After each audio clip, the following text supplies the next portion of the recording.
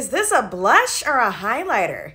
It's both. This is the new blush from Nudestix, and it's got a blush on the outside and a highlighter on the inside. Ah! This is the color Magenta Magic, and I don't know if this is black girl friendly, but we gonna try it today. I already got makeup on, so hopefully it doesn't rub it off. I'm gonna blend this in with a brush, just so I can get the most amount of pigment out of this. Oh, that's so pretty.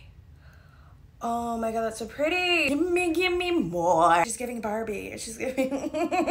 See how glowy it is? It's a highlighter and a blush in one, girl. Okay, I want to try this color. It's called Sunset Gold. It looks so pretty. This one is for the brown girls. This one, mm-hmm. Mm-hmm. Oh my god, I don't know which one I like better.